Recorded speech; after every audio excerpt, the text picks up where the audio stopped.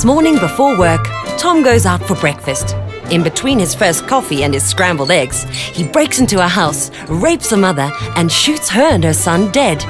This afternoon, Tom watches his son play rugby and afterwards paralyzes a man with one shot while hijacking him. At the dinner table tonight, Tom reminds his family that they need to go and visit their grandmother. Just before brushing his teeth, he puts fresh bullets into his gun. He might just need them again tomorrow. If your stolen gun was there, so were you.